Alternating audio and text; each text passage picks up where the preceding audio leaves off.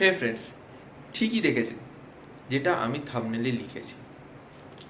এই মুভিটা not based on a true incident but based on true situations যখন আমরা কোনো সিনেমা দেখি আর তাতে যদি এই লেখাটা থাকে বেসড অন ট্রু ইনসিডেন্টস তার মানে হচ্ছে এটা সত্য ঘটনা অবলম্বনে।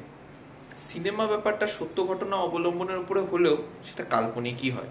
তার কারণ সেখানে কিছু কিছু মানে প্যারামিটার্স থাকে। হিরোকে বিল্ড দেবো হিরোইনকে বিল্ড দেবো স্টোরিটাকে বিল্ড দেবো। এন্ড অফ দ্য ডে যখন ক্লাইম্যাক্স হবে আর শেষের দিকে আমরা হিরোকে জেতাবো। এই হিসেবেই ট্রু ইনসিডেন্টগুলোকে পোর্ট্রে করা হয়। আমরা এতদিন টোটাল মুভি ওয়াচিং এক্সপিরিয়েন্স আমাদের তাই আছে।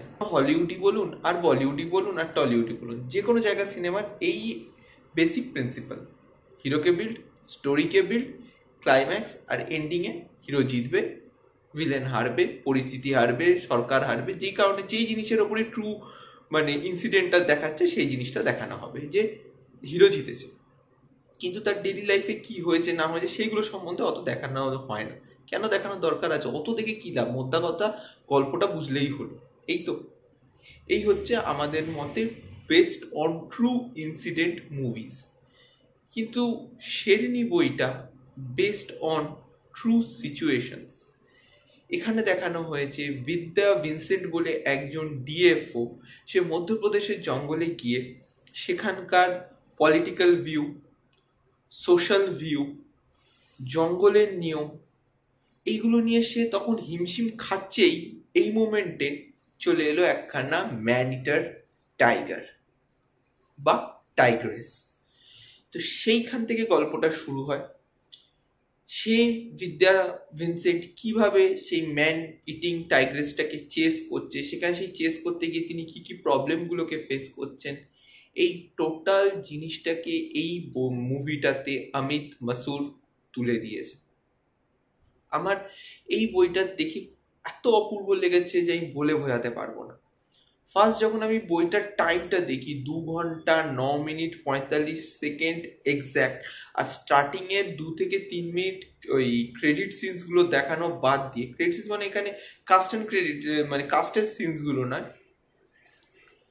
সো ওইটা বাদ দিয়ে যখন টোটাল বইটা আমি দেখতে শুরু করলাম, বইটা স্লো পেস্ট মানছি বইটা এটার একটা মস্ত বড় কর্ন বলতে পারেন, যেটা স্লো পেস্ট তার কারণ এখানে পয়েন্ট টু পয়েন্ট সব কটা ইনসিডেন্ট সিচুয়েশন টোটালি দর্শককে দেখানো হয়েছে। ক্যারেক্টারগুলো কি ফিল করছে, সেই ফিলিংসটাকে বোঝানোর চেষ্টা করেছে ডাইরেক্টর তার এই ক্যারেক্টারগুলোর মাধ্যম দিয়ে। একটা লোক সে পরিস্থিতির বিরুদ্ধে পলিটিক্যাল প্রেশারের বিরুদ্ধে সোশ্যাল প্রেশারের বিরুদ্ধে জঙ্গলকে বাঁচানোর চেষ্টা করছে। এই জায়গাটাতে সে কার কাদের কাদের কাছ থেকে হেল্প পাচ্ছে, কারা কারা তাকে অপোজ করছে। এমন লোক আছে যারা একসময় তার খুব প্রিয় লোক ছিল বা তাদেরকে দেখে সে ভাবতো যে, না, এরা সত্যি কিছু ভালো করবে। কিন্তু তারা যখন তাদের আসল মুখ দেখাচ্ছে, তখন তার ফিলিংসটা এই টোটাল জিনিসটা আমরা শেরনি বইতে পাই। এখানে মুখ্য চরিত্রে অভিনয় করছেন Vidya Balan as Vidya Vincent DFO Vijay Raaz রয়েছে, যিনি এখানে এক দেখানো হয়েছে একজন প্রফেসর কাম একজন নেচার লাভার আর তিনি এই ফরেস্ট ডিপার্টমেন্টকে হেল্প করছে। এখানে সরস সাক্সেনা আছে, পিন্টু ভাইয়া, একজন হান্টার যে শেরনিটাকে মারতে এসছে। তারপর নীরজ কবি রয়েছে, এখানে অ্যাজ মানে বিদ্যা বালানের উপরে হায়ার অথরিটির পাঠ করছেন।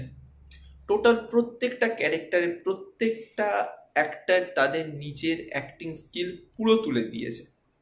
কোনো অ্যাঙ্গেল থেকে আমার, আপনাদের এটা মনে হবে না, এটা আমি বিদ্যা বালনকে দেখছি, এটা আমি বিজয় রাজকে দেখছি, ওটা আমি নীরজ কবিকে দেখছি, এরকম আপনার কোথাও মনে হবে না।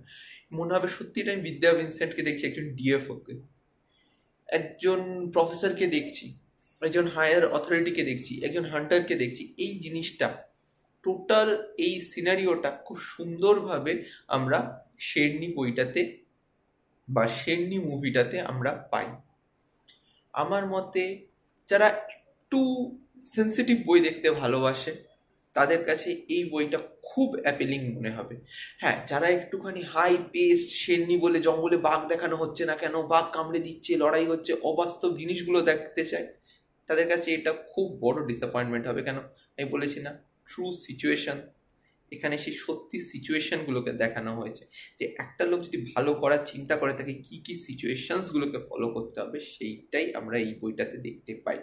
এই বইটা আজকে অন এয়ার হয়েছে অ্যামাজন প্রাইম ওটিটি প্ল্যাটফর্মে যাদের আছে, তারা প্লিজ গিয়ে দেখুন। আমি লিঙ্ক তলায় ডেসক্রিপশন বক্সে দিয়ে দিচ্ছি। আর বইটা কেমন লাগল সেটা দেখে আমাকে প্লিজ কমেন্ট করে জানান। আর চ্যানেলটা করুন সাবস্ক্রাইব তলার বেল আইকনটা প্রেস আর এবং ফিল্ম বা ফিল্ম রিলেটেড টপিক নিয়ে যদি আর আমার চটপট আমাকে আমার ইনস্টাগ্রাম হ্যান্ডেলে ফলো করুন, যারা আইডিয়া স্ক্রিনে দেখাচ্ছে। এই বলে।